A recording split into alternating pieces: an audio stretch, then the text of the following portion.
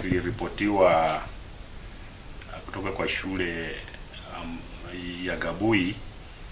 Hii ni shule ambayo iko na mchanganyiko wa wasichana na vijana, na kuna wale wanafunzi wa kwenda nyumbani, kuna wale wa kupaki hapo.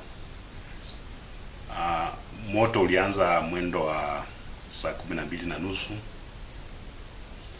ukasimwa saa moja na nusu.